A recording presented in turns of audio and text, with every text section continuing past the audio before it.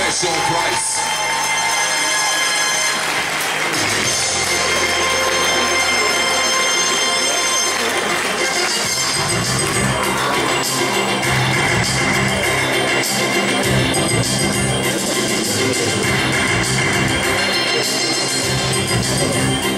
Kā redziet, tās balvas ir kā jau jauniem zēniem. Mēs jau labprāt viņiem gribētu kaut ko. Bet viņu šampānīšu laiks viņiem vēl viss priekšā.